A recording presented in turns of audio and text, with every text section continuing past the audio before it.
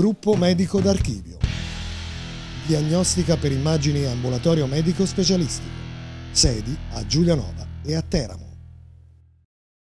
Un sogno promozione inseguito dall'inizio della stagione, una cavalcata trionfale che ha lasciato scampo a pochi commenti. La Civitanovese con tre giornate d'anticipo è la regina del campionato di eccellenza Marche 2015-2016 titolo che arriva nell'anticipo del salvo d'acquisto contro il Loreto in una gara che avrebbe potuto scrivere la storia dalla parte opposta, ovvero la salvezza per il team di Moriconi. In una giornata perfetta dal punto di vista meteorologico e delle condizioni del terreno di gioco, sorprende la strepitosa cornice di pubblico sia da una parte che dall'altra. Partita che per piccoli problemi tra la tifoseria di Fede Blu e la dirigenza locale inizia con 30 minuti di ritardo. Partita, perlomeno nei primi minuti, che vede prevalere il Loreto per gioco ed intensità, anche se la prima chance capita a Lattarulo con salvataggio sulla linea di Camilletti.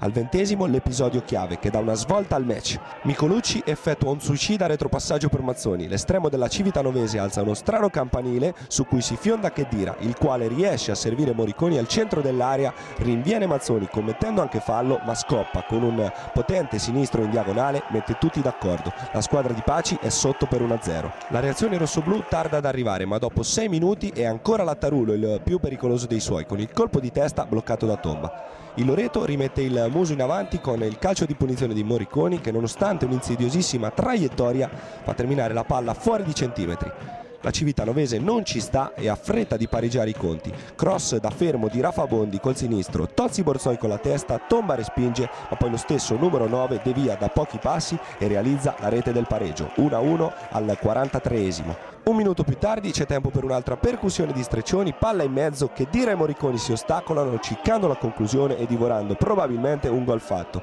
Si va a riposo dunque sull'1-1. Il secondo tempo si apre sulla falsariga del primo, ovvero il Loreto a crederci di più. Torre di Garbuglia che aggiusta i giri alla conclusione di streccioni, il quale allarga troppo il piattone destro e la sfera termina in out.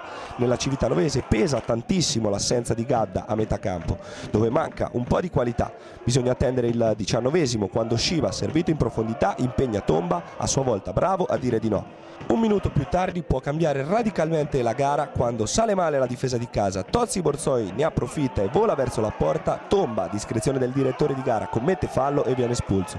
Rigore che potrà essere decisivo per le sorti del campionato. Entra strappato già protagonista sulla parata contro il Montegiorgio del penalty di Marco Aldi, ma lo stesso Tozzi Borzoi è freddissimo e abile nel trasformare dagli 11 metri la rete del 2-1, risultato ribaltato per la Civitanovese. Di lì in poi il nulla cosmico per 10 minuti fino alle due occasioni per chiudere i conti di Shiba, la prima con tiro fuori, la seconda ben neutralizzata in corner da strappato. I minuti finali sono solo una pura formalità tra i continui incitamenti delle due tifoserie, ma al triplice fischio soltanto il popolo rosso-blu può gioire. Il Loreto, che pure avrebbe meritato qualcosina in più ai fini della gara, cede il passo alla capolista. Inizia invece la festa in casa della Civitanovese, che vince per 2-1, ma soprattutto chiude i conti per il discorso campionato, con tre giornate d'anticipo.